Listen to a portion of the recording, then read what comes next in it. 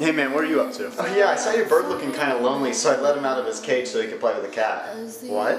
Yeah, your cat was wanting to play with him, so I let him play. John, what did the cat do that made you think he wanted to play with the bird?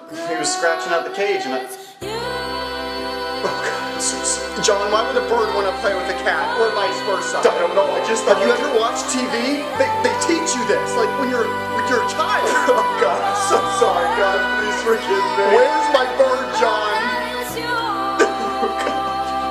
to stay away from my animals. You know what? I think I forgot to feed the cat as well, so it probably led to like. I'm so sorry. John, you're psychotic. It's like you do it on purpose. I'm so sorry.